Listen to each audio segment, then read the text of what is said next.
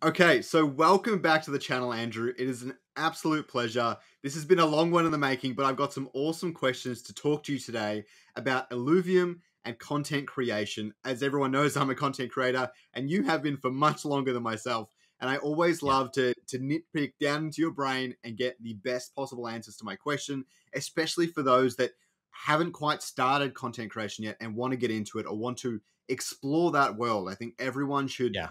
At least bring themselves into that realm even a little bit, whether it's through writing or or music or whatever else. There's always something that you can be passionate about in this space.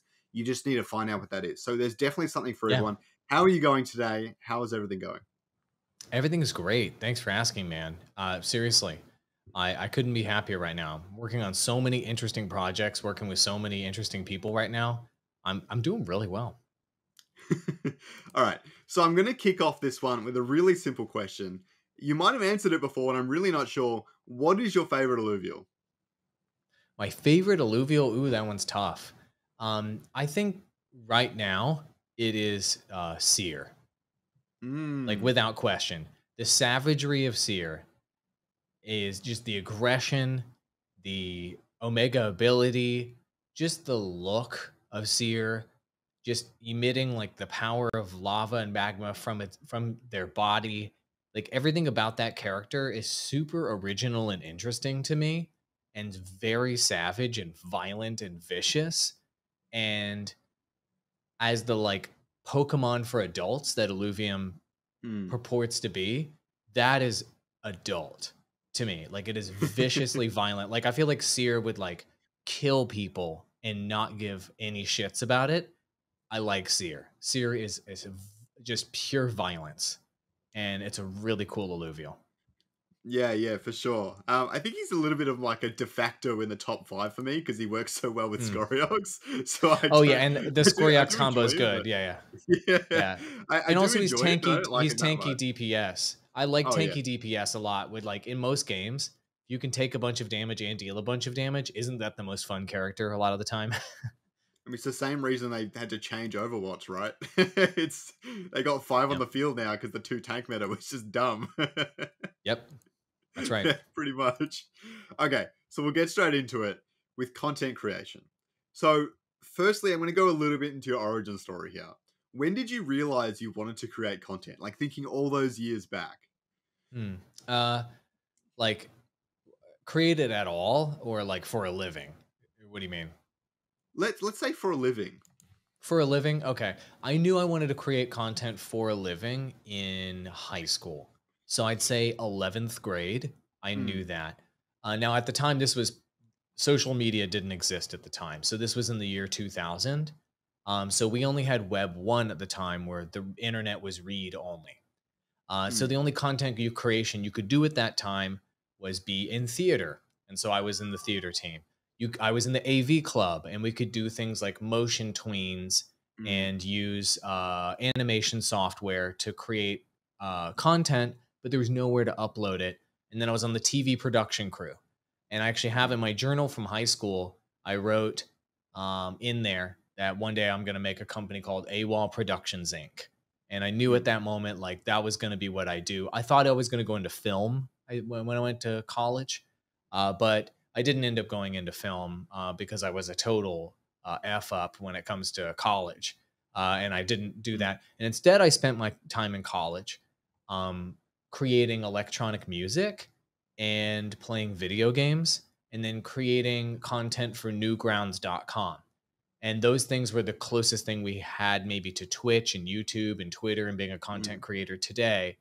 I couldn't get motivated to go to film school when this thing on the internet was happening that was so much more interesting of online gaming and it was the very beginning of online content creation at that time uh, and so that's when i knew i knew in 11th grade i was going to do this for a living Hmm. Yeah, yeah, definitely. I didn't know you made electronic music. Do you have any of that still stored up that we can have a listen to at some point? yeah I, I do have some of it on on cds so i'd have to find a way to burn them off of the cds onto the internet um, i'm not sure if any of it I, I put some of it on this site called garageband.com i think it's still Mm. around um, where you could upload music and get people's feedback on it that was mind bending at the time that Yeah. other people could listen to your music and tell you what they think of it. It was like the first time that had ever happened in the world, uh, other than people being able to give you feedback in real life on your music in real life. Yeah. So some of it was on there. I'd have to, you know, I should probably rip that music and put it on the cloud to store it. Uh, so I'll probably do that. I look forward to it. Believe me. It, it's not going to be good. It's going to be like dated 20 year old electronic music by someone who got to like a mid tier level of talent. I did professional music production for a while Mm. for like pop artists. I did remixes and I made, I don't know, maybe $15,000 doing that, let's hmm. say. But I never made a career out of music because I was never good enough at it. fair enough. Fair or enough. maybe I, mean, didn't have the drive. Yeah. I definitely believe in playing to your strengths. I think I feel like you can build as many strengths as you want to build, but I feel like playing to your strengths is always powerful, and and some have more naturally inclined than others, of course, as well. Um, which is always the case with anything, right? So, Mhm. what kind of was the first video you did, or the first channel? Because you have quite a few channels, but I don't really know which one came first and and which one was the one you focused on, and that sort of stuff. Kind of what So was you the don't- fir- first sort you of don't content know. you focused on Yeah. on um, yeah you don't know you don't know what channel was my first channel and the first video that i ever made isn't on the internet anymore i privated it Hmm. uh, out of cringe and maybe i shouldn't have done that I, I should probably go back and unprivate it but the channel was called ftw broadcasting and that was in 2007 i think i made that on youtube and now the channel i think is called awol gaming. I renamed it and rebranded it to try to make it into something else. But the first ever video i made and uploaded there was a starcraft 1 i believe esports Mm. commentary um, that i did as a uh, just solo. And so i just recorded starcraft did a shoutcast on top and i did a bunch of those by myself and then i ended up bringing in my friend danny um, to do it with me. And our concept was we are going to do dual commentary. That was going to be our thing that was going to blow up the internet because nobody was doing dual commentary. And then we, and it ended up becoming this kind of like shit talking show where we were just kind of bantering with each other and there just happened to be StarCraft gameplay in the background. And it actually did pretty well. I mean, in like 2008, we were getting like five to 10,000 views per video on our StarCraft esports commentary and we were some of the biggest StarCraft esports commentary guys at the time. But this was when no gaming channel had reached a million subscribers. Like it was a very small space. Mm. But that's where I got started. And then I ended up figuring out that I loved esports from that. And then we started I started casting the Go for SC2 series for the ESL. They're the largest Mm. esports organization out there early and I was casting their replays and doing professional esports commentary and I loved that. And so I thought to myself, one day I would like to be hosting the biggest esports events in the world. Um, and anyway, that might that might happen with Illuvium. That's one of the reasons why I'm here. that will happen with Illuvium. I'm telling you that much myself. I think, I think you've definitely got something special here. Um, not just with the competitive gameplay, but the the overall IP that is being built. Yes, um, yeah, no, that's that's a really crazy story. Yeah, yeah, and so it's funny, and so that all, so the the story, the the insight for all of you, it's not just about me. The insight for all of you is you might start somewhere, and then it might branch a little bit, but once you discover something that you really like, that can be a longer story arc than you know. Like Mm. my interest in esports, I did the initial esports videos, then I brought my friends in, then I did esports commentary, then that led to me founding that gaming network TGN. Then we did our own esports tournaments there. Then I ended up doing the official esports videos for Blizzard. And then now I might end up being uh, the person who directs esports for a AAA game.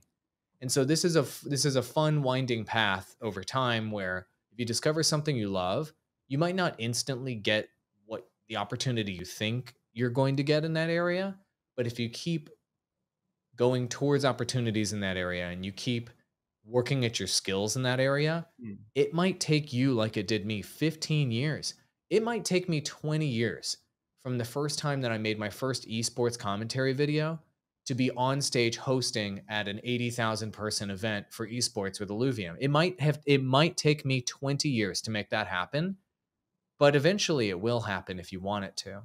And so I've literally And I know this is cheesy, but I've literally just straight up told myself that's what you're going to do one day. And I it's going to happen because I told myself that's what's going to happen. That's Mm. how this shit works. You can literally will whatever you want to happen in your career into existence by just simply willing it into existence. But the timeline might be longer than you think, and the amount of work that you need to put in might be longer than you think. Like just with esports and commentary for me, Mhm. I've put in about a thousand hours of work just into that. Yeah, yeah, it's it's definitely a long road, um, but I, I have similar goals in my life, and I'm only just starting to action them now. So um, I'm excited to see where that heads, and it might not even be successful on the first try. It might take me a few, but um, yeah, I'm definitely excited to push that through to the end as well. Um, Yeah, so the you, next, you mm, you won't be keep successful on your first try, and if you're not successful on your first try, that's better than being successful on your first try. It's better to fail. It really is. It, it makes you so much better. Um, if you fail and you don't get the results you want, oh my gosh, it helps you refine the idea, helps you refine your craft, refine your craft, and it helps you find the very specific thing that you are better than other people at naturally. So failure is very good, especially when you're getting started. Hmm. Yeah, I mean, that being said, this is my first proper attempt at YouTube. I mean, the first two weren't that hard, but I guess I just didn't find what I was passionate for at the time, and and I got it right the third try. I mean, so far so good, anyways. Um, the next thing I want to talk about is is YouTube. So you're a big proponent of YouTube. We've had that discussion many times. That if you had to start anywhere, YouTube fantastic. TikTok's pretty good too, but uh, we get the idea. So the thing I want to talk about is Facebook, I've been seeing recently, has run out of new users. Now, obviously, there's global recessions and things kind of starting, but Yeah. but um, oh, I can't even remember his name at the moment. He said that Talking pretty about much Zuck, every yes, Zuckerberg. Um, he, he talks about pretty much that everyone on the planet that has easy access to Wi-Fi or a mobile phone or computer or whatever pretty much has Facebook at this point. Obviously, Yes. the active users is very different, but he's run out of people to give Facebook to. And That's that true. might be part of the reason Meta is starting to Meta has started to take shape. Um, do you think YouTube will ever hit that sort of mass consumption where you just run out of people to show videos to? Yes, yes, it will. Uh, and all of these things go in natural cycles. I think YouTube is all, you know, it's growing consistently, but it'll plateau at some point. And tech companies don't pivot their business model and they don't pivot the appeal of their platform until they see a plateau in the numbers or they anticipate a decline. So the primary motivating factor for Mark Zuckerberg to uh, change the company's direction to Web3 is that his CFO came over to him and told him, We are not going to hit our targets in upcoming quarters. Here are the factors that I see. And we need to talk about how we're going to find a way for growth long term. I mean, Zuckerberg hasn't said that publicly, but I get 100% guarantee you that triggered Zuckerberg looking at uh, metaverse and VR and these that particular area as a way to monetize. YouTube is going to run into the same thing, and all Web two social media platforms are going to run into the same problem. Why? Because that's what happens with entrenched technology when new technology enters the space. The same thing happened to NBC, Universal. The same thing Mhm. happened to CBS and ESPN and all the TV entities out there that came before social media started taking all their business. And then before that, all the print based companies ran into the same issue when TV took their market share and took their advertising revenue. And before that, radio stations and radio broadcasting took the hit, et cetera, et cetera. We see this cycle play out over and over again. As soon as there's a better broadcasting technology and a more engaging way to communicate information to other humans, it soaks up the attention, then it soaks up the advertising dollars, and the entrenched players react five to 10 years after that new technology drops to try to fix the problem as their business is declining. That's what we're Mm. seeing with Meta. And so, will that be the case for YouTube and for Google and Apple and all of them? Yes. Yes, it will. And will most of them not make it fif- 10 to 15 years from now in terms of being a juggernaut? Yes, they will not be the big company. Go look at the top companies on the stock market from 20 years ago. There's a bunch of names on there you ain't never heard of, guys. If you're young, uh, you ever heard of Enron? Probably No. not. Used to be the biggest company in the world. It was at the top of the list, vaporized. So, anyway, the point is new technology will replace YouTube at some point. So, your job, everybody, is to harvest as much free attention from social media platforms as you can today. And when you see a new platform emerge, emerge that you think looks promising, also distribute your content there. Mm. Don't don't um, only distribute your content there or, or abandon a current platform. That's why I've always been a preaching restreaming, streaming to multiple platforms to get more reach, uploading your content on every platform to hit every single algorithm, and then most importantly, collecting the emails and phone numbers and personal information of your viewers so that you can contact them directly. You don't want to have your audience and your business as a creator be entirely dependent on some algorithms on some social media platform. You need to be able to reach your customers and your viewers directly. And as long as you're on someone else's platform to do that, you'll always be at the mercy of those platforms and you'll always be trying to run up a waterfall that's constantly rushing beneath you. You can never get to the top. Yeah, yeah, definitely. I think I think that's really good advice, and that's the the sort of thing I was looking for. Is um, I'm always concerned about falling into obscurity and things like that, and I just I want to make sure that I have a clear clear path forward, and and you know more than anyone, um, in my opinion, about about a lot of this stuff. Um, One thing you really quick, one thing Mm. you can take away no matter what. A lot of people like acquiring audience and attention and like that's the currency they want to hold on to. That's cool. One thing you can do is just make money. And guess what you can do with money? Money lasts through time. and so the money you collect today from your business today can equal attention in the future because the next media thing you do you can hire an editor and have premium equipment and have a great website and have premium branding and the money you make today can accelerate your mm-hmm. attention gathering in the next one and so a lot of people think i've got to keep my followers i've got to keep the views up i've got to keep you know all of that's good but if you make money the money is a way for you to almost store the energy and the value you acquired from those viewers and then move it forward in time in a different format. So don't underestimate money. And if you do make a decent number amount of money or any amount of money as a creator and you don't need it, then consider investing it so that it grows over time so that next media project that you do, you'll have even more money. And then you'll be able to get an even greater head start and have a team of people to do everything for you. That would really accelerate the progress, right? So Yeah, don't definitely. forget the financial aspect and be researching and becoming financially literate uh, because the finance aspect of running a media business is as important, if not more important, than the attention gathering part, which is what everybody's uh, everybody uh, is obsessed with, with getting subs, getting likes, getting views. mm, That's only half of the equation. And creators that focus on that half of the equation and are good at it, most of the time they're not good at the finance side and they fail for that reason. Yeah, yeah, it's it's a concern with anything. Uh, We even hear lots of stories about famous um, famous pro athletes and things like that uh, going broke shortly after they their careers finished because either they didn't have a backup plan or they just didn't manage their finances accordingly. Like really, they'd only need to Yeah. invest maybe ten percent to just have income and cash flow for the rest of their Yeah. life. So it, it feels shocking on the surface, but it's definitely just a part of that that thing that everyone needs to get educated on at some point in their life. Um, so the next thing I want to talk about is uh, regards more to newer content creators and people who haven't started their journey yet. Is do you think more time on YouTube makes a major difference in the context of if you didn't really improve so much and you were consistent? So, for example, if someone produced videos for five years and they were they were decently good, but they never they were never really amazing or anything, and they never really pushed them up to that level or did a lot of market research or anything. Do you think that makes a big difference as opposed to someone who's just been doing it for a year, but their video content is just that much better? Um, it's all about it's all learning.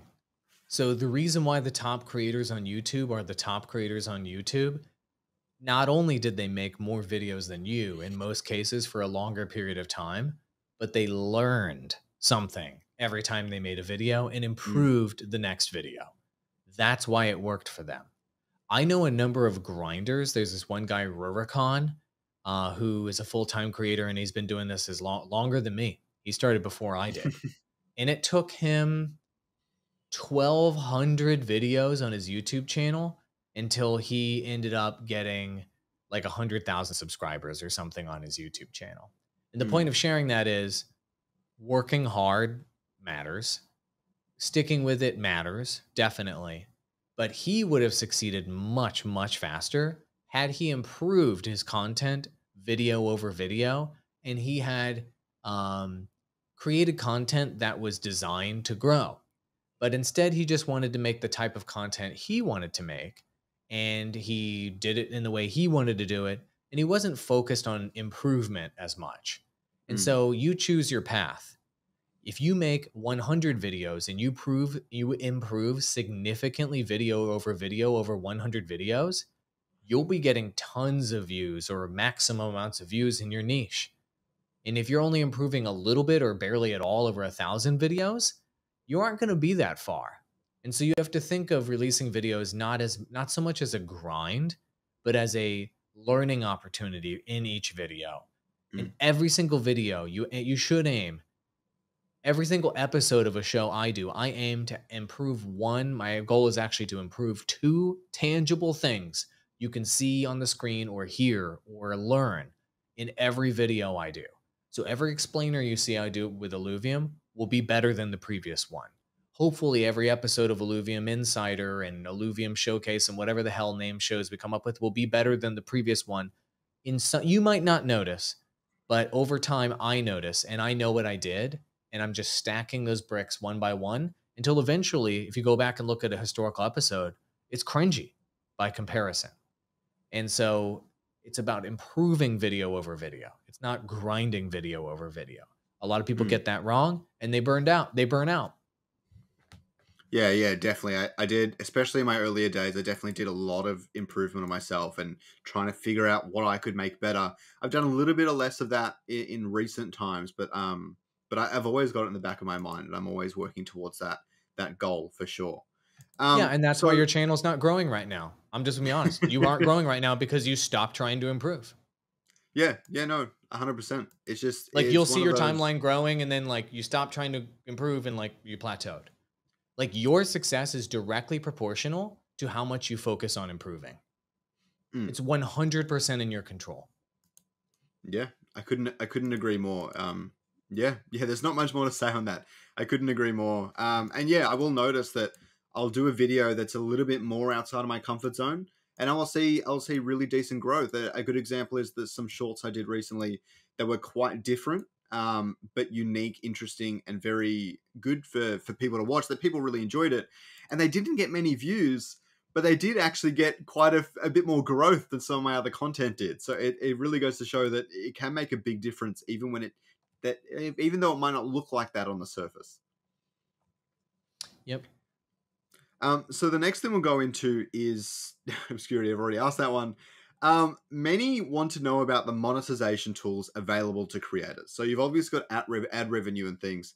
If you had to give us a top three monetization tools you would recommend, or that you have used, or you think are easy, or maybe just are Yeah. best, not necessarily easy, what would you say?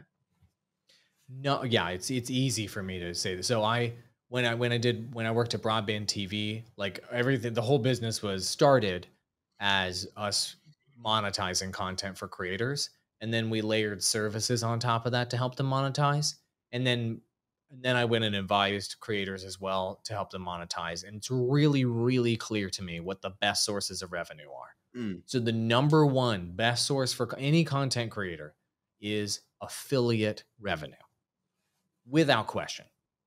Uh, so, what do I mean by affiliate revenue? Literally every software platform and uh, platforms like Amazon, as an example, have an affiliate program. And also all types of services from food delivery services to Uber to your password manager to your every piece of hardware and everything for sale on Amazon and other sites, newegg.com. Literally everything you can buy is pretty much in an affiliate program somewhere. And so what you do is you create a piece of content uh, related to that piece of uh, that product or that service, and you get people's attention with an informative and educational piece of content related to that. It could even be about the product if you want it to be, and you provide value. And you create an evergreen video that can be watched for, for five years from now that answers an important question and teaches somebody something. And in that video, you tell them if they're interested in purchasing such and such product related to this video, there's a link in the description below. It is an affiliate link, and I get a small cut if you end up buying using my link. That is the number one easiest way to make recurring revenue and significant recurring revenue as a content creator. So, as somebody just on my own, uh, creating videos on my AWOL digital channel, one of like seven or something I have, um, just just with 200,000 views per month. How much money per month do you think I was making in affiliate revenue just on Amazon? 200,000 views per month. It's not that much. It's more, a lot more than I get. Um, how much? Thousand US. Ten thousand dollars per month US just in Amazon affiliate revenue. What? So if it was just, so with that number of views, just with YouTube revenue, you'd make like a thousand dollars per month. Yeah. If you're a US audience. But if you have affiliate revenue, you make way more money. And check this out. I haven't released a, a new video on any of my channels. I haven't recorded a new video for my affiliate revenue in, in a year in over a year since I joined Illuvium. Every month, it still pays me $4,000 per month in passive income just from the videos that are just sitting on the internet. And I have done nothing over the last year to contribute to that revenue. Now, he was at 10,000 and now that I completely ignore that business, it's declined to 4,000. But that's all affiliate revenue. So the point of sharing that is to say that affiliate revenue creates consistent month over month revenue that can pay your bills and create as a create a foundation for your media business. Mm. Do you use any products? Yes. There's an affiliate program for that. The best affiliate programs are number 1, Amazon's influencer and partnership program. Number 1. That's by far number 1. Number Mm. 2, impact.com. So impact.com um, is an affiliate website that has partnerships with every company that does affiliate programs, basically. And so I guarantee you there's a bunch of products in there that you like that you could talk about, you could make revenue, affiliate revenue off of recommending. So number one is affiliate revenue without question. And guys, I'm not trying to bat, brag about how much money I made or something like that. um, that's not what it's about for me, really. No. Uh, it, it- I I did that at that time because I had quit my executive job over at that publicly traded media company, and I needed a way to pay the bills. And I had learned how to do affiliate marketing, and I had taught creators how to do it. And I decided, why not make money using the techniques I've taught other people? So affiliate number one. Number two, best type of revenue is sponsorships. So sponsorship revenue um, from brands um, is great. So you can make recurring monthly sponsorships with brands that uh, you like, where you like their equipment and what have you. These light Mm. bulbs up here and the lights in the background that you see here, it's from a company called Govee. Govee paid me three thousand dollars per month or something, two or three thousand dollars per month to promote their products on Amazon and to make tutorial videos and shit like that. Plus, they paid me affiliate revenue on top of that. This one partnership, me just talking about these lights, I think I made like fif- forty thousand dollars off of that. Mm. Just me talking about fucking lights, dude. So sponsorships are incredible, and you can either get an agency to get you sponsorships. There are also sponsorship platforms that will connect brands with partners. YouTube is starting to do that. Uh, Amazon is starting to do that. And there's a number of websites you can go to out there where you can put in your channel, put in your data, and you can they will come to you. The sponsors will come to you and solicit you for sponsored videos or sponsored mid rolls on your channel. Just an instant infusion of cash into your business so that you can uh, not just pay your bills, but maybe build your business faster. So sponsorships are number two. Mm. And then number three would be recurring subscription revenue, I would say. And so, what do I mean by that? I mean uh, platforms like Patreon, uh, Twitch subs, YouTube channel members, um, soliciting your hardcore audience to provide you recurring monthly subscription revenue. Uh, if you can get off of those platforms and you can create your own on your own website, obviously that's better. Mm. Uh, but that recurring subscription revenue is something you can count on and hit on a regular basis. Those are the top three revenue streams affiliate revenue, sponsorship revenue, and recurring subscription revenue, with affiliate revenue being by far uh, number one uh, source of uh, revenue for creators that's underlooked and is underutilized. And you don't have to go chase a bunch of views to go get YouTube partnership, or people are like, I need, yeah, I got Twitch partnership. It's like, who cares? You aren't going to be able to make a living with that. You need to go get affiliate revenue and sponsorships if you want to make a living. I guess I guess the only thing that's that's popped into my head when I'm trying to think about because I've never really attempted it myself, so obviously I have no idea what I'm talking about. But the, the first thing that comes into my head is like, how are you getting those two hundred thousand viewers to go and watch for the affiliate stuff? Is it just really good search optimization, or is there something else that's kind of occurring there, or is it just your channel's big enough that YouTube's really recommending you a lot? I, I don't really, I, I don't quite get that side of the equation. Yeah, there is no channels big enough where you get views. That that's not a thing. So big channels, if they release a shitty video, get like no views. Mm. And little channels that make an amazing video get a ton of views.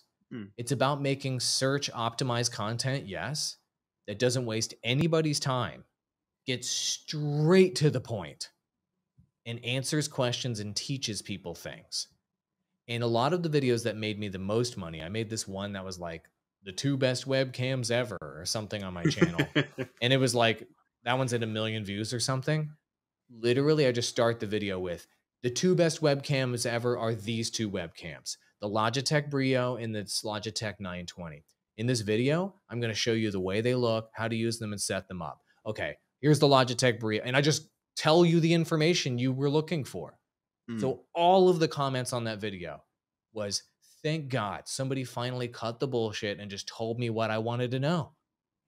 As opposed to everybody else, it's yo guys, it's your boy Harlem here, and thank you so much for tuning in. Be sure to ding ding, ring the bell, and smash that like button because I'm all about tech videos in here. Real quick, I know you guys have been wondering. I haven't been uploading as many videos as recently, but guess what? Sorry, I have my cousin's house and all this stuff. But anyway, you don't want to hear about that. And without further ado, let's get into it. So, why didn't that video get views? Because the retention in the first 30 seconds was awful. And if you're the type of creator that would deliver that type of intro, you're probably going to waste their time for the rest of the video too. And so people want people click videos and videos get views a lot of videos over views over time if you don't waste their time. People are on YouTube searching for the answers to questions to save time. So if you focus on saving people time, not telling them the most mind blowing information, Mm. not SEO optimizing in the best way, save them time. Your viewer retention on your video will be impeccable. And even if your thumbnail is garbage, people are going to watch that video and the algorithm's going to recommend it for years and years because it saves people time. Time is the most limited resource humans have. It's the most precious resource humans have. And if you can save people the most precious resource they have, you will be rewarded for it handsomely. Yeah, I think I think a good way I like to think about it is is YouTube is the second largest search engine in the world. And if you look at the first largest search engine in the world, which is obviously Google, I mean, which owns YouTube, so that's that's always fun. Um, which is Google. When you type in a Google question, I very I've actually lately very rarely click on the search results. Google will actually pop up with some key information inside one of the top key hits, and that if that answers my question, I'm happy with Google. and Because it saved I- you I really time. like to, yeah, because I really like to think of YouTube in the same way, and that was the the we were talking about my improvements before. That was the big improvement I fixed. Obviously, I had that lengthy intro. I used to introduce myself and all that sort of stuff, and it just it's saves me time editing too. I mean, I can't complain. But that's one type of strategy. So you're wondering how that's how I got views on that channel. Hmm. There are other channels that use different strategies to get views, uh, but they follow the same saves you time principle. So if you look at the best YouTuber that has ever existed in the entire world, Mr. Beast, How do his videos start? Blam! Here we are at a pool. I've got $2 million behind me. And here's Jessica. She's going to blah, blah, blah, yada, yada, yada. And here's some edits. Sorry, my camera went out of focus there. But she's going to try to go in the here and do whatever challenge in the pool. And this is what's happened. Just watch it right now. She does it. All right, now that that challenge is over, we're into challenge number two. Let's get into the next part. All right, so now we're at the house. And like, he doesn't waste a single nanosecond of your time entertaining you. Mr. Beast, the number one thing he does that's better than everyone else is he respects your time. If you clicked a video, Mr. Beast video, he does not take that for granted. He understands that every second of your time and your viewership should be jam motherfucking packed with the most entertainment possible. And if he doesn't have the content to show you that is wildly entertaining in that moment, it's cut. That's what the best yeah. YouTubers do. The best creators do. They don't waste your time. I've, I've heard just think, about, think about that. Like if you're like, I want to explain this concept in crypto. I want to uh, talk. I want to do commentary on such and such topic. Do it, but don't waste anyone's time. Don't waste a single second. Mm, yeah, yeah, I've, I've heard Mr. Beast speak about that time and time again, and that's that's pretty much all he does. And he says sometimes he cuts like 99% of the content that he's actually shot or whatever um, yes. to get the point across. And and yeah, every single second does something useful. And and that's that's hard to master, obviously, but um, I definitely want to work towards it. And I know with your help, I can. Perfect. Um, so this is a few more questions to do with kind of being newer to newer to YouTube and things like that. Is is there a you talk about if you make a good video, it'll get views if we table that for the time being, but that that's my that's my consensus as well. Um, that's kind of the the end goal. But if you wanted to spread it even further, whether it's paying for ads or whatever else, are there are there really good ways to spread your YouTube content to try and grow a bit faster that you can think about? There are none. No, just make good videos. You so it's it's two it's two pieces. Uh, mm. so there is no way to fast track the growth of a YouTube video. YouTube cannot be gamed. So YouTube used to be able to be gamed uh, in the in like 2008, before it had the algorithm changes that focused on click through rate and focused on audience retention. Now that the now that the algorithms focus on that, you cannot game the system. You can't pay for ads because ads might have a good click through rate, but they have a terrible audience retention. So that doesn't work. Mm. You can't drive lots of external traffic in there and pay for clicks or whatever from external sources because that might have a high click through rate, but that will have a bad audience retention. And you can't bot a bunch of uh, high retention mm. views uh, from a website because YouTube's algorithms are the best at detecting that. And they filter all that data before it actually affects the reach of the video. And if they detect any foul play, your video is dead in the water. So there is no way to quote unquote accelerate the growth of a YouTube video after it's already been released. I have tried everything. I mean, I've tried everything. Everything there is. I don't want to even say publicly some of the things I've tried, but I've done all of it and none of it works. So it used to work. So fun fun fact back in the day in the gaming space, you used to be able to make a gaming channel and let's say it was like the the the, the meta in 2008 was record some Call of Duty footage, just talk over the top of it about your day. And then the thumbnail is a picture of a girl with huge boobs. and then tell everyone to like the video and that was it. And then you got like you got like a lot of views. You got like a hundred thousand views if you did that. That doesn't fly in today's algorithm though, because people would click for boobs, they wouldn't get boobs. Then you're just talking.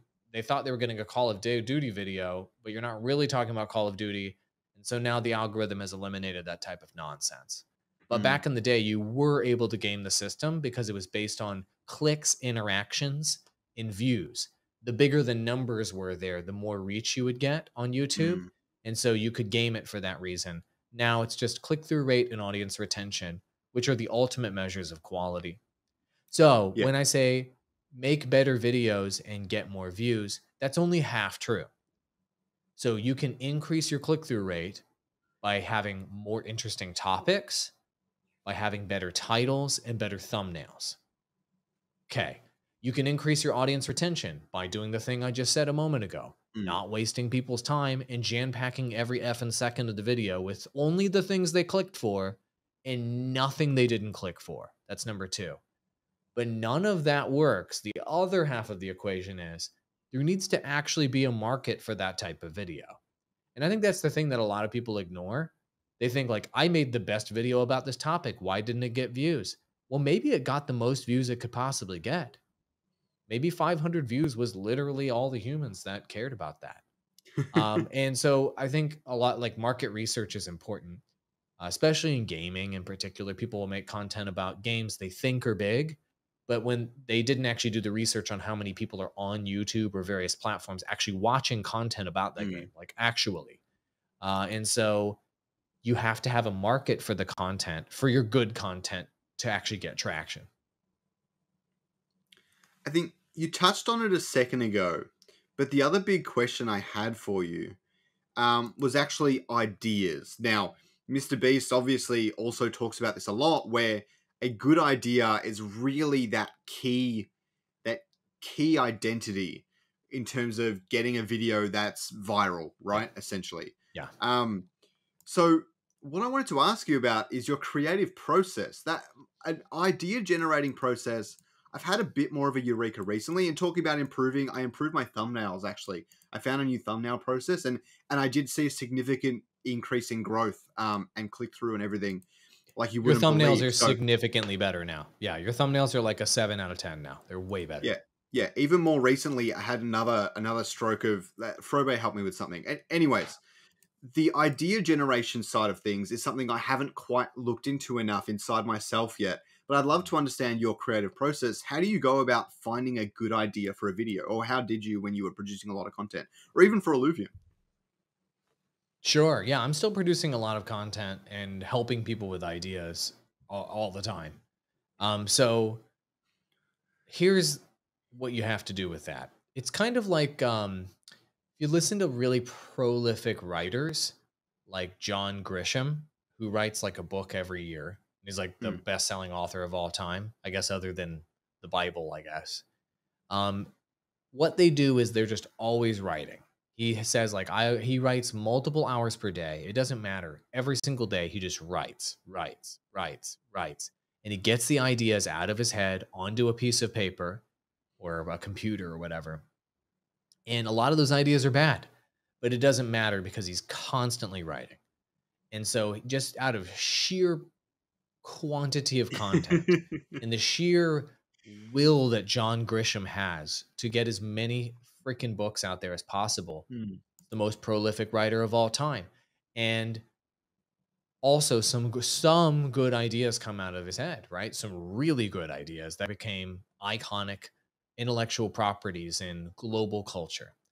So the reason why I share that is that's what I so when I was at Broadband TV and I had we did like 1500 videos a year or I work with a client, a lot of like uh, clients, and I still have a few clients. I don't have that many though because Illuvium's so taxing. uh, but a few clients I still work with. All the big creators I work with that have millions of subscribers that I currently work with, Mm. the only thing they want to talk to me about is video ideas because that's the only part they have a tr- they have trouble with. And so, what do they do? What do the best creators do? They have a giant spreadsheet full of hundreds and thousands of ideas that they're constantly adding to. And what they end up doing is filtering the best ideas toward the top. Uh, so here's the process, everybody. If you're looking to make some content in a particular area, what you do is you go incognito search the terms related to that topic Mm. and you go find the page one results and the names of those videos and you put them into a spreadsheet. So let's say you were making a video about uh, crypto investing.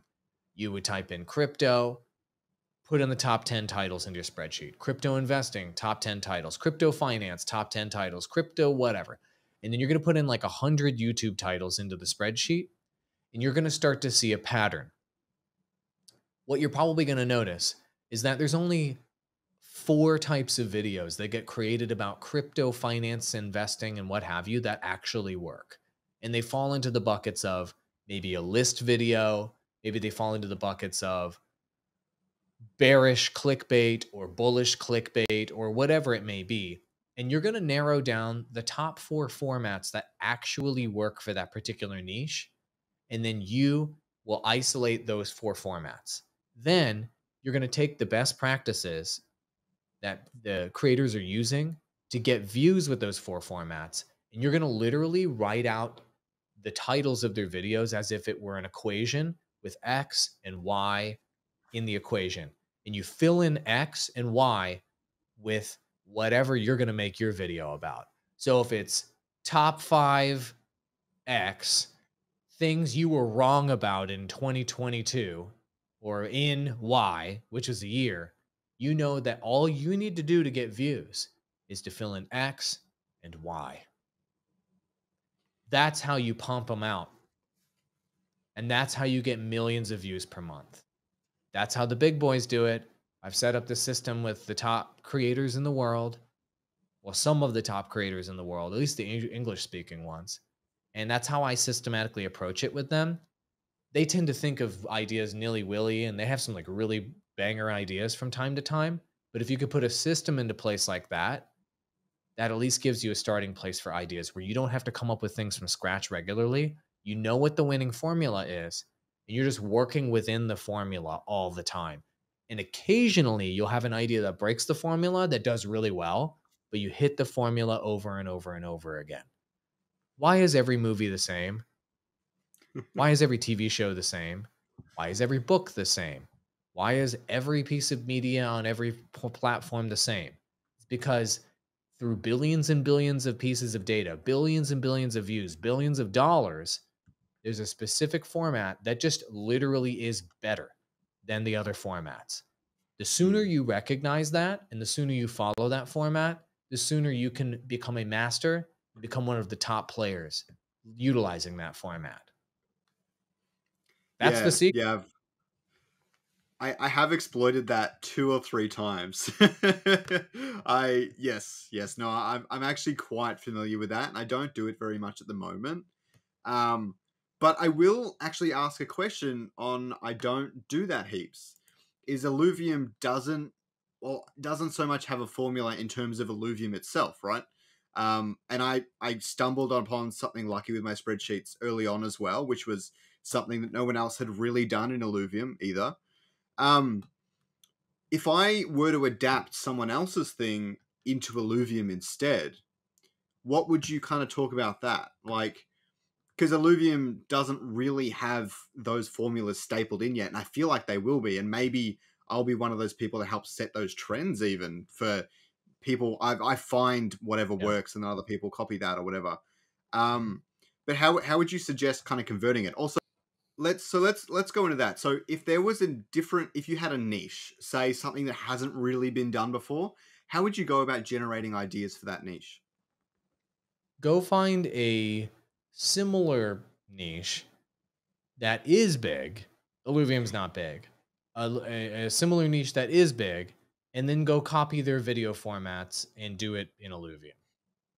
So what I would if I was an Illuvium creator, what I would do is I would go search for the top 20 TFT videos and I would also search for like the top 20 like DeFi gaming, crypto gaming, NFT gaming type of videos, metaverse mm-hmm. videos. And I would put those videos into a spreadsheet and then I would just copy those formats.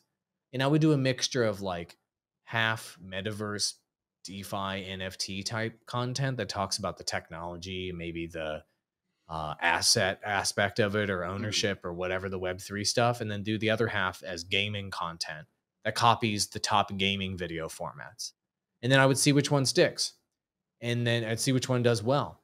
And the other key part to tell you is once you do that and you do have something that does well, the biggest YouTubers are the ones that recognize that they found a winner and then they kill all the losers with fire. So, uh, the, so uh, there's a channel M and J TV is like the classic example I like to bring up. When I started with him, he was getting about like 40,000 views per video on his channel. Pretty good as a Pokemon creator. Mm. We then sat down in a spreadsheet. We looked at all of the video formats on his channel. I logged them all uh, by type. And I said, look, there's only two types of videos that do well on your channel list videos and something else, whatever it was. I forget what it was. I recommend you stop doing every other type of content and only do, do those. And if you do, you'll probably get 10 times more views. And he didn't believe me. He dabbled around. He came back three months later. He goes, okay, I'm going to do it. Just help me understand how to do it. Within six months, he was getting 400,000 views per video. Jeez. So the point is on a particular channel, once you find a winner, double down on the winner. If you, if making top five metaverse videos or top five NFTs to look at this week or top five reasons you were wrong about whatever or whatever the video format is, videos exceedingly outperform the other videos on your channel, you should immediately stop producing all other types of videos and just produce that type of video over and over and over and over again until you master it and you see whether you can juice it out. Most of the time, when creators do that, their channel explosively grows. But a lot of mm-hmm. creators make that winning video and then go, oh, that was just a one off. Was it? Or did you just find the winner and just shove it under the carpet? So, what any creator that's watching this right now should do is sort their channel by most popular. Whatever your most popular video was, go make 50 of those right now. I guarantee you'll get way more views than you're currently getting. Mm. All right, I'll do that. It's not that hard. It's look. really not that hard. It's like it's like the easiest strategy ever. They're like, oh Yeah. yeah. well, I made that video a while ago, and I've justified in my own head why I don't think that's going to work anymore because these complicated reasons. Shut up and just do what works if you want to grow. And if you're saying all those other complicated reasons about why you don't want to do it, it's because you don't actually want to be successful. You just want to sabotage yourself. And that's your own personal problem I can't fix.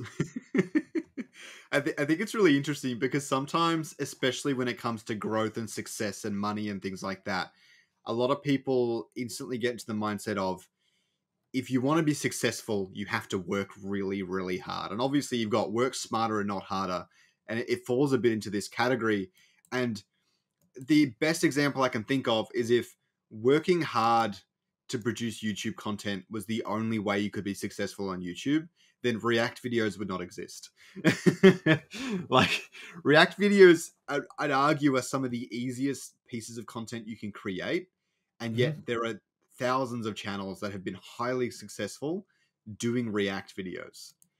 It, it's easy, but it's a good idea, and people enjoy watching it, and that's really all that matters. Yep. Yeah, that, that once again, that is that those creators that make those react videos tried out a couple reactions on their Mm. channel. And then they were the ones that were smart enough when they saw the reactions doing better to kill every other type of content on their channel and just quadruple down on reactions. I had a content creator I was working with a magic channel, like literally like street magic. Uh, he was doing like challenges where he was like handcuffing himself in the pool. He was doing card tricks to girls on the street. He was trying everything, man. He was working really, really hard on magic videos. And then he decided that uh, he was just going to react to America's Got Talent and the when the magicians went on. 50 times more views than the other ones. So what I told him is double down on that and kill everything else with fire. He did, and his channel explosively grew. It's not that hard here, guys. Let's smash it out. So, firstly, how important is content in video games, whether it be before or after release? Content in video games? What do you mean that? What do you mean? Um, con- uh, content as it regards to video games, trailers, gameplay videos, all that sort of stuff. Oh, for marketing games? I mean, it's everything now. For marketing, you mean? Uh, not just for marketing, but yeah.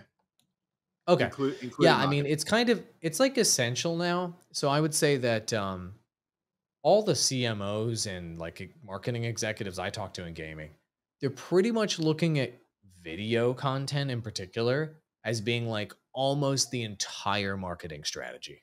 for Mm. their games now. And creating uh so they're looking at videos as being almost the entire content strategy and, and marketing strategy for their games Mm. and for anything they're making now.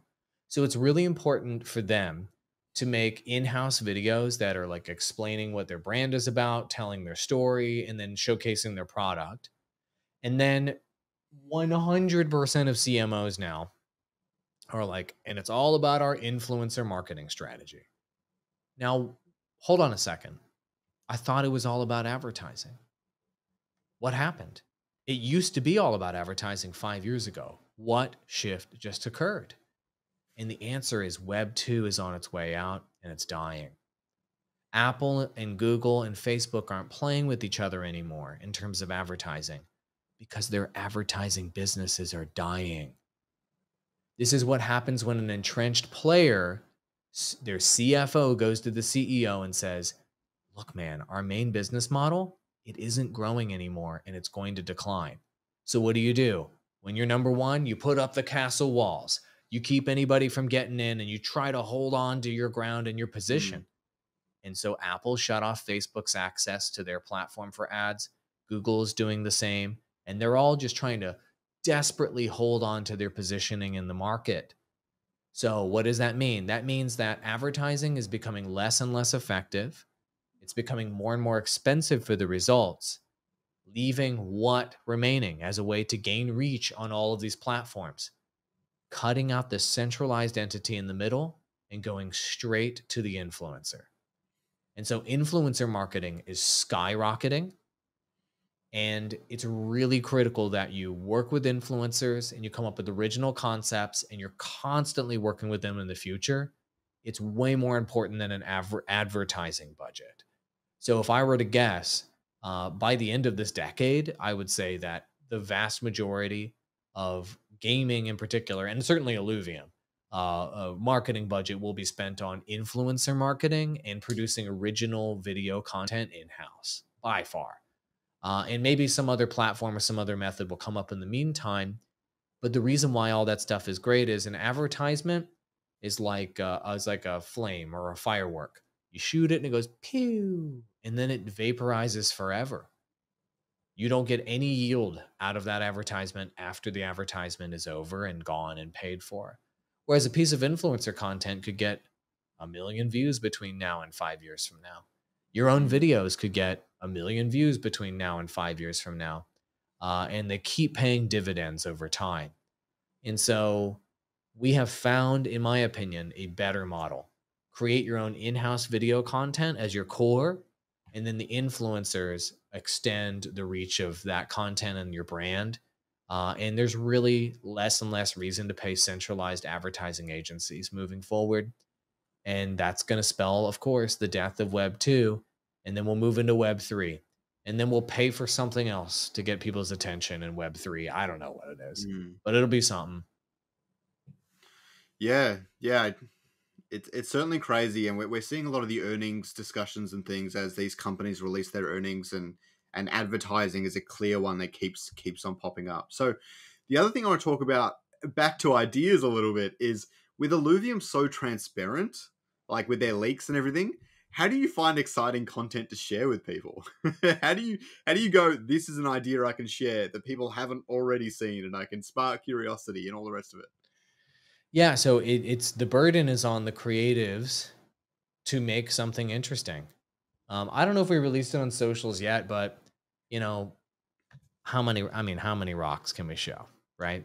so uh, that's not exciting, right, anymore. Um, but there are things the team is creating that are new and exciting. So, for example, Grant just sent me a 3D rendering of an Atlas plushie. that's exciting. People want that. Um, I was I wasn't expecting that, and so that's something I gave to the social media team to share. And it's like a Atlas plushie spinning around in 3D. So the creative team has to be creative. That's that's it, and they have to do the unexpected, and they have to keep presenting stuff that people are not uh, expecting. And so I think that's what the Illuvium brand has been really good at up until this point. The Illuvials are kind of unexpected in style. The story, you guys have the lore is so unexpected and it's weird. everything about it is unexpected and weird. And so Illuvium is good at delivering something that you didn't think you were going to get. So that's Mm. how. Uh, and as soon as the creative team starts getting samey in terms of what we're doing, um, that's probably the point where we're very successful. And then we become the, the entrenched player that's trying to hold on to our market share and just be careful. Uh, but Mm. at this phase, we're willing to take lots of risks, do lots of new things, bring in fresh talent, and just let them run with their ideas. That's how you get fresh ideas nonstop. And Kieran is excellent at bringing in people with fresh ideas and just letting them run with them and not micromanaging them. It's that's why you see so much fresh and wild and weird and interesting things coming out of Illuvium. It's because the leadership allows it to happen and encourages it. That's very different than everywhere else where they want to button things up, they want to have control over the message, and they want mm. to centralize creativity and centralize the messaging. Illuvium's doing the opposite. And so it's by design, structurally, that Illuvium will release more interesting things than any other game studio because they let it happen. Mm. Yeah, yeah, absolutely. I think I think creativity is key, and I'm a creative myself, so I absolutely love it when I I'm able to run with my own idea, and that I mean that just makes you work harder too. It's just a simple fact, right? I mean, if, if you want people that work for you to work harder, also a simple fact, right? So it, it, it makes sense in my opinion. Yeah. Uh, creative people will work harder for you if you let them do the create their creative ideas. And Mm. they will make you something better for you if you let their creativity run wild. Like the videos I produce with Andy, the reason why Andy and I work so well together is I just give him very clear direction. I give him the assets he needs, and I let him know what's in my head. And I don't tell him how to execute at all. I just let him execute in however he wants. And Mm. so the videos come out better that way. And Kieran, when it comes to the videos I make, like the explainers or whatever, we got a bunch, by the way, in the pipe that are coming out, but Mm. he he will just tweak the script. Not once has he commented on any of the graphics or the sound effects or anything in these videos. He might say something about the messaging, like, eh, we can't really say that anymore because we changed the product. that happens all the time. But other than that, man, he just lets it happen. And so the more freedom you give talented creative people to be talented and creative, the more they'll produce for you. That's it. Um, so I've got two more key questions here. So, firstly, a really quick one: Do you know if there will be any video content inside Illuvium? I'm t- I don't know how to explain it, but like if you're walking around the overworld and there's going to be video content on the wall or something advertising Illuvium Yeah. Zero or something like, do you have any plans like that? Ah, screens with video content in the game. I haven't. I- seen I'm not sure how you would do it. I haven't seen that cinematic sequences. Yes. Mm. So there there are cinematics. There are cinematics being produced right now to tell the story of the game. Like really nice cinematics that will be in the game to tell the story of the game. Uh, think like cutscene type of cinematic that tells key story points as you're progressing through the story. So those have all been in the pipe for a while and have been getting produced. Those are happening, but that. that's not like on. That's not like a screen. Oh shit! I don't know if I just revealed something. Oopsie. Those are all being produced right now. Yeah. I mean, I was probably assumed, but I hadn't- really thought about it in depth before. And I'm excited they're being made. So that's really, really awesome. So Yeah, oopsie doopsie. thing- uh, Maybe maybe that's a first or something that nobody said anything about it, but yeah, those are being produced. Um, those are those are all happening, uh, and they're needed, I think, and they're going to be the best format to tell some of the more complex Mm. aspects of the story. Um, where doing like a normal cut scene or something with the 3D models in the game wouldn't be as good, right? Mm, mm. Yeah, definitely. I think. Yeah, I- I'm excited to see them. I'm excited to see the lore and everything. It's been hyped up so much. I can't wait. Um, so the last thing I'll ask you about is the Illuvium series that is going to be produced down the road. Now, I want to bring this into a kind of a Pokemon context where Pokemon the video games are about 1% of their revenue. Well, maybe a little bit more, but they're not much. Their anime, TV shows, movies, all that sort of stuff is the big part of their Pokemon media franchise. The, are you planning to produce an Illuvium series in the future? Think Cyberpunk Edgerunners or Arcane. Um, and like, how far is Illuvium going to take that stuff? Is it gonna? Do you think it might be bigger than the game one day? I'll be. I need to be careful how I answer this question. So, um, is it um, under uh, construction? Uh, so, um, all right. Do I think like ancillary revenue streams like merchandise and shows and all esports and all of these other things will be the majority of revenue? Definitely. So Illuvium is got like such an iconic brand and branding and characters. It's being designed in that way mm. to where we can actually do brand marketing. So what I mean by that is shitty video games require you to market the game and just like try to get installs on the game because the brand is garbage. Illuvium, we can market the brand because it's so good and it's so compelling. And just by marketing the brand, it'll sell an entire suite of products and shows and services and whatever Illuvium has to offer. So therefore, just like Pokemon's IP is so strong, the characters are so iconic and designed so carefully, Illuvium has that as well. So yeah, the majority of Illuvium's revenue will eventually not be video games, in my in my opinion. Hmm. Uh, but once again, we don't know what the future holds in terms of monetization within the Web three space. So it's possible that things like NFTs are just so effing lucrative that you know there's no way any merchandise strategy could exceed that hmm. revenue. It's possible. I don't know, uh, but I anticipate that that will be my a minority portion of revenue. Will we produce you mentioned Cyberpunk Edgerunners.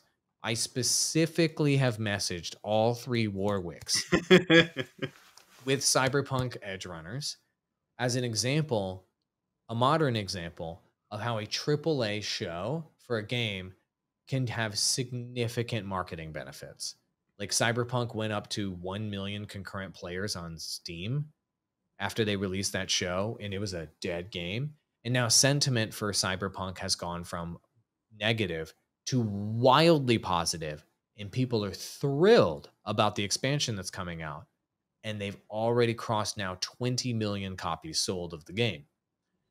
So the case I'm making internally right now is uh, I want us to make I want us to make Illuvium anime because we need more Eastern appeal with our hmm. intellectual mm. property. It's a very Western IP Mm. Um, it'll appear it'll appeal in the East, but it's a very Western IP, and I think we need an anime version of it to market it to the East. To be honest, and obviously anime is popular in the West, of course, but to market it to the East, we need something like that.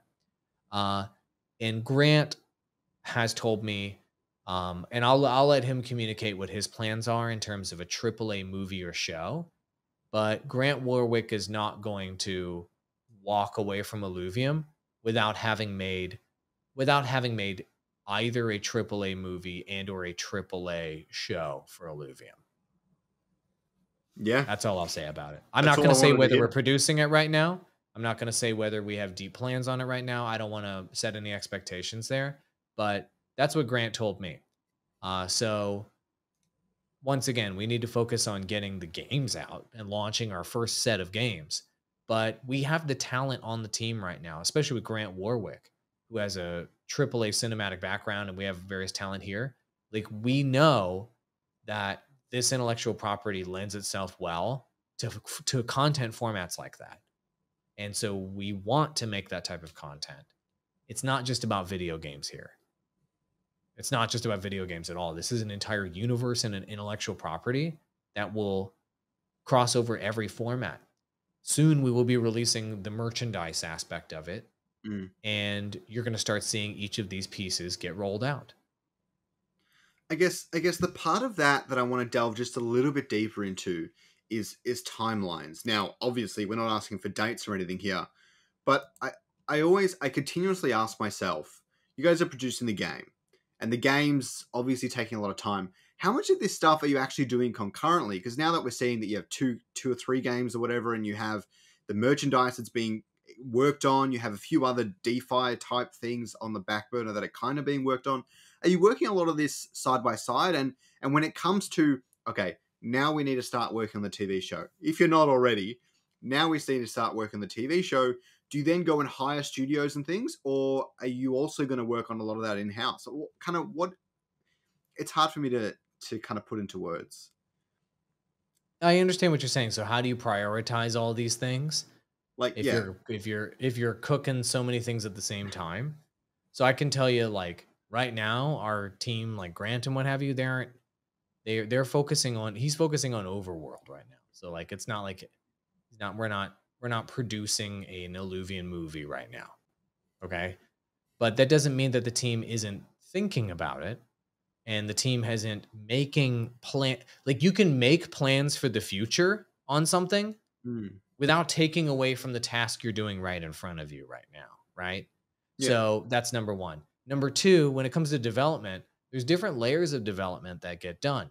There's there's like art development, there is 3D modeling, there's things like blockouts, there's the blockchain side, there's all these different layers. And so we are developing lots of different things at the same time because different personnel are developing different things that are in different stages at the same time. If we just did one product at a time, we'd have like a bunch of people just sitting around wondering what to do because their part's already done on a lot of what we're, on a lot of what we're creating. And so that so development is more fluid and it has it's multi-layered.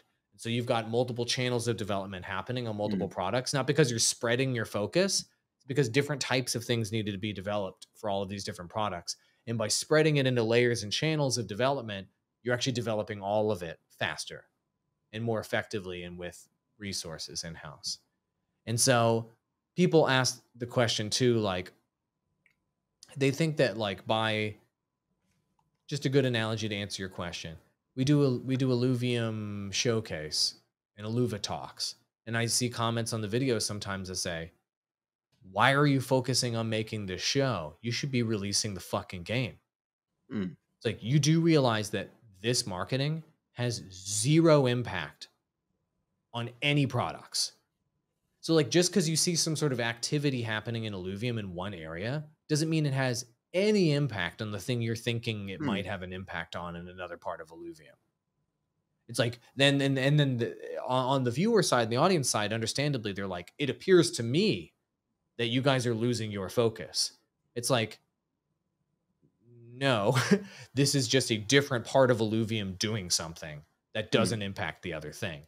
It's like you are focusing on this, and maybe you wish we were talking about the thing that you want us to talk about, but that doesn't mean Illuvium Game Studio has lost their focus. Hmm. So that's the best way I can answer that question. Yeah. Um, yeah, and at the end of the day, um, I think that like the number one priority for Illuvium is getting these three games out, and that's why we've got beta on Arena, imminent beta on Overworld, beta, imminent beta, or, or very soon beta on Illuvium Zero. Got to get the beta testing done so we can launch these. That's the number one focus of everything. So if anybody sees any communications, if they see us posting a plushie, if they see me talking in this interview about how, yeah, we have talked internally about doing movies and shows, does that mean that that delays the launch of Illuvium Zero? No, not by a nanosecond. It doesn't. Does that make sense? Yeah, yeah, yeah, hundred percent. Um, yeah, yeah. I guess the only no, I, I understand that absolutely, and I, I understood that before as well. And I guess where my head was at is once the game is launched, you obviously have to keep working on set two and things like that. So where do you kind of find the people to produce that TV show? You know, so do you guys think you'll get more studios and things in on on Illuvium, or you'll just expand the team that far that you'll be able to do it, or do you, do you kind of know kind of where the head's at there? Yeah, so I mean, if we were to do it, so so any type of TV show or movie, Grant would be taking the lead on how we should source production Mm. and how that should relate relate to in-house assets. But I think gen- in-house people working on it. I think generally speaking, you would have a couple key creatives within Illuvium right now, such as Grant, providing direction and ensuring that whatever's being produced on a TV show or a movie or something is in line with the lore and the branding and in line with whatever our business objectives are as well, right? Mm. Then then somebody like Grant is going to make some key decision. He's either going to go psycho and decide to hire everybody himself, or he's Hmm. going to outsource it to some ice cold killer studio that he feels very confident in. That's up to Grant at that point. In the case of TV show or movie, he's he's like the leading expert on that. Mm. So I don't know what the approach will be, but there will be a key trusted person, probably a Warwick, making that level of decision, right? Just like Aaron would be making key decisions on, you know, like game design on the next title or whatever. And then Kieran would be making key decisions on when we're doing the next sale and generating revenue or investor decisions. So all that stuff is determined by a, those major decisions like that on whether we're going to hire in house and ramp up resources or go outsourced and what have you. Those are those are Warwick decisions that then go to the council. like if we have to like source a bunch of money for something, like so for example, if we were going to need to hire an entire team to make a show or something, we would need to like work with the council on that and like that would be a massive expense and a huge focus. So, you know what I mean? So all those would all be considerations. Uh so so those are the two scenarios. You either have key creative talent in-house providing direction to a fantastic AAA third-party studio. That's what Cyberpunk did. That's what CD Projekt Red would- did with the studio they worked with for Cy- Cyberpunk Edgerunners. 10 out of 10. Like that show was so good. It can work out if you have the right studio. Otherwise, who knows? With Grant, I don't know, man. Ask Grant. Yeah. Awesome. Well, thank you so much for joining me. I will definitely ask Grant that. Um, thanks, thanks for joining me. Thanks for jumping on the show today. I really appreciate it. Um, yeah. Is there anything else you'd like to leave us off on? Nope. I always like talking to you. You're very thorough and in depth. And all the creators out there that watched, just go make some content, man. Just go copy what works to start with, and then it's all gravy from there. Awesome. Sounds good to me. All right. Have a good one, man. Adios.